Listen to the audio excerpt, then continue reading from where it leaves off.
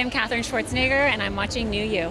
How does it feel to be here at BeautyCon? Amazing. I'm so excited to be here. I've never been here before, and I'm a total makeup and beauty junkie, so Are I'm you? super excited. What are you excited to see here? Um, I mean, I came here and I ran immediately to go see my friend Frankie at his panel, and then I went to Becca Cosmetics because I'm obsessed with that line. Um, just to kind of go around from like booth to booth and see everything is like super awesome. So, What beauty trends are you loving right now?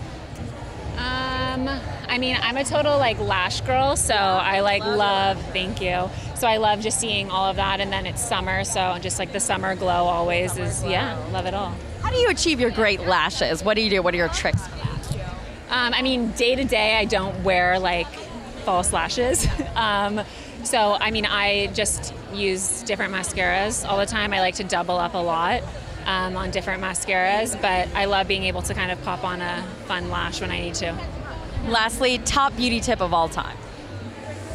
Top beauty tip of all time um, probably to always wear something with an SPF in it because I'm a skincare addict. So I like to be able to have something that's protecting my skin, especially when you're running around during the day. So important, and that's the baseline for your beauty. Exactly, always. Great skin, exactly, it does.